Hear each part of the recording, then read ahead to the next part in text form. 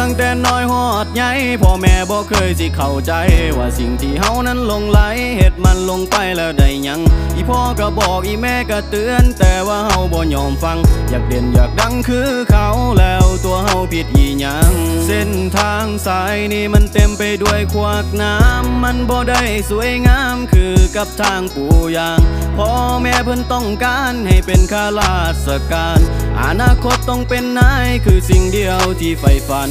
โอยพันปัญหาที่ผ่านเข้ามาในชีวิต แต่เฮาก็บ่เคยคิด ที่จะยอมแพ้ หากยังมีลมหายใจก็บ่มีคำว่าแต่ ที่จะยอมแพ้คือคนที่หมดหนทางห้อยคำคนนินทาลานคำคนอิจฉาว่าเป็นไปบ่ได้ดอกนะอันว่าซูเปอร์สตาร์ห้องเพลงก็คือบ้าไฟฝันอยากเป็นดารา พรสวรรค์ก็บ่มีเหตุไปก็เสียเวลา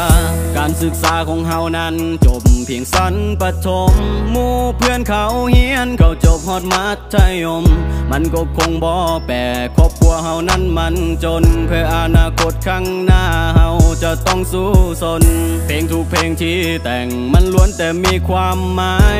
ทุกๆการขีดเขียนมันคือคำว่าออกจากใจ ดังบ่ดังก็บ่ได้สนใจขอเพียงได้เฮ็ดแล้วมันดีต่อใจบ่เคยสนใจกับพวกน้ำลายปล่อยให้พวกเขานินทาต่อไป นับตั้งแต่น้อยหอดใหญ่พ่อแม่บ่เคยสิเข้าใจ ว่าสิ่งที่เฮานั้นลงไหลเหตุมันลงไปแล้วได้หยัง อีพ่อก็บอกอีแม่ก็เตือน แต่ว่าเฮาบ่ยอมฟัง อยากเด่นอยากดังคือเขาแล้วตัวเฮาผิดอีหยัง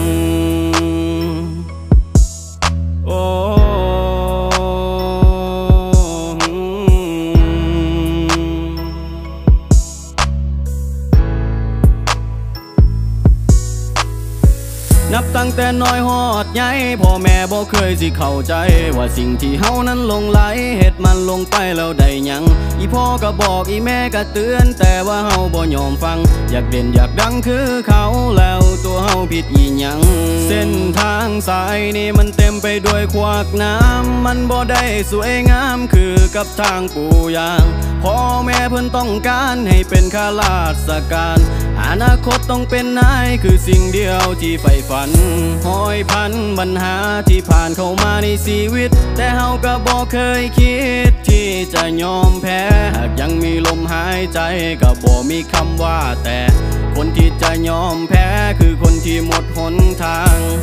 คำคนนินทาลานคำคนอิจฉาว่าเป็นไปบ่ได้ดอกนะอันว่าซุปเปอร์สตาร์ห้องเพลงก็คือบ้าไฟฝันอยากเป็นดาราพรสวรรค์ก็บ่มีเหตุไปก็เสียเวลา